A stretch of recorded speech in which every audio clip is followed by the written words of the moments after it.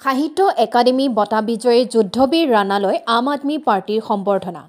তিনিচুকীয়া জিলাৰ ডিগবৈ দাঁতিকাষৰীয়া টিংৰাই দুই নং অসমীয়া গাঁৱৰ নিবাসী যুদ্ধবীৰ ৰাণালৈ নেপালী ভাষাত সাহিত্য একাডেমী বঁটা লাভ কৰাত আম আদমী পাৰ্টীৰ অসম ৰাজ্যিক উপ সভাপতি মনোজ ধানোৱাৰৰ নেতৃত্বত আপৰেটি সজাতি দলে ৰাণাৰ নিজ বাসগৃহত উপস্থিত হৈ আন্তৰিক অভিনন্দনৰ লগতে সম্বৰ্ধনা জনায়। উক্ত সজাতি দলটোত ধানোৱাৰৰ সংগ দিয়ে আম আদমি আদমী পাৰ্টীৰ অসম ৰাজ্যিক যুৱ শক্তিৰ উপ সভাপতি বাবুল বিকাশ চেতিয়া তিনিচুকীয়া জিলাৰ সহকাৰী সাধাৰণ সম্পাদক ফিৰোজ আলী জিলাৰ যুৱ শক্তিৰ হৈ জমিৰ হুছেইন সঞ্জীৱ দাস পুলিন হাজৰিকাৰ লগতে ডিগবৈৰ আপৰ বিষয়ববীয়াসকলে। ডিগবৈৰ পৰা বিনন্দ কোঁৱৰৰ report all Assam news thirty. Aam Aadmi পাৰ্টিৰ হৈ আমাৰ মনোজ ধনোৱাৰ ডাঙৰীয়াৰ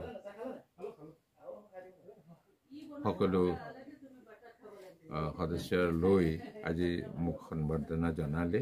মই বৰ আনন্দিত হৈছোঁ। আহ, এনেকা আব আহ, কি কয়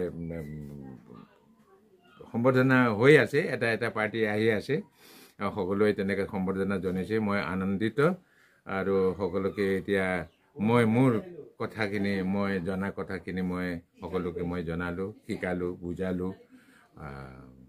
ভৱিষ্য যিটো প্ৰজন্মৰ কাৰণে বা ভৱিষ্য পিঢ়িৰ কাৰণে যিটো কাম কৰিব লাগে সেই কথাটো মই বুজাই মেলি কৈ দিলোঁ যে ধৈৰ্য থাকিব লাগে মানুহে কাম কৰি যাব লাগে নিস্বাৰ্থভাৱে কাম কৰি যাব লাগে প্ৰচেষ্টা থাকিব লাগে আৰু কাম কৰি গ'লে নিশ্চয় এদিন লক্ষ্যত উপনীত হ'ব। সেই কথাবোৰ মই বহুত দেৰিলৈকে এইবোৰ কথাই মই ক'লোঁ। ভাল লাগিল আনন্দিত।